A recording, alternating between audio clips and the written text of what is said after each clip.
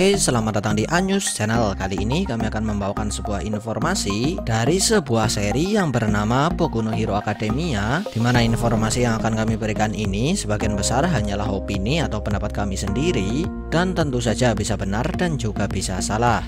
Serta bila teman-teman punya pendapat sendiri, silahkan suarakan pendapat kalian di kolom komentar.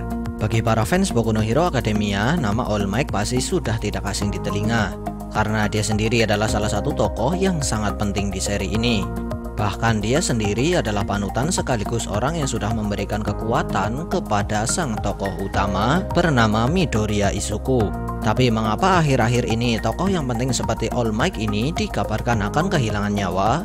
Dan untuk menjawab pertanyaan tersebut, kami sudah menyiapkan tiga alasan mengapa All Might akan mati di seri Boku Hero Academia. Langsung saja berikut penjelasannya.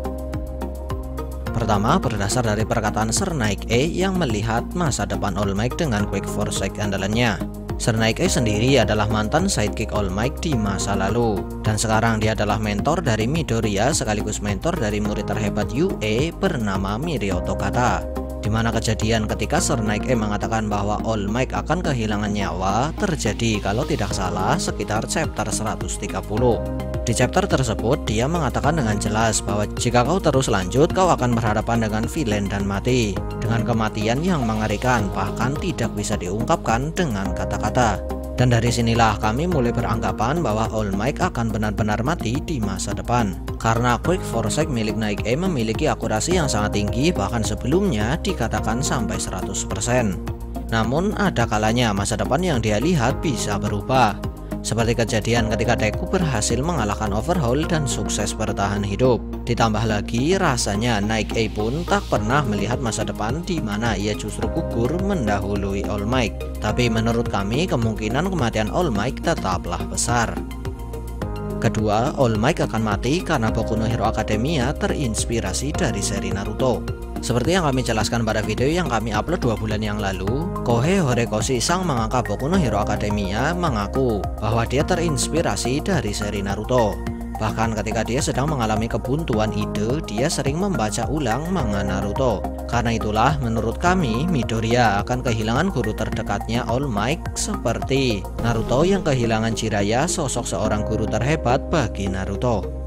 Ketiga, peningkatan kekuatan Midoriya. Seperti yang kita ketahui bersama, hampir semua seri shonen, ketika sang tokoh utama merasa kehilangan orang terdekat baginya, dia akan mendapatkan sebuah kekuatan baru entah bagaimanapun caranya.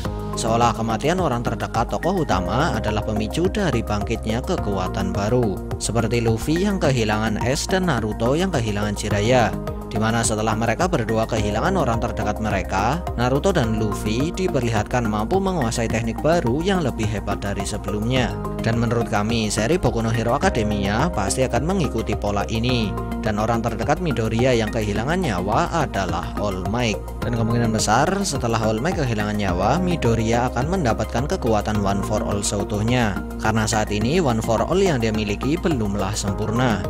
Bagaimanakah menurut teman-teman? Setujukah kalian dengan pendapat kami? Atau kalian punya pendapat sendiri? Silahkan tulis pendapat kalian di kolom komentar dan mari kita diskusikan bersama.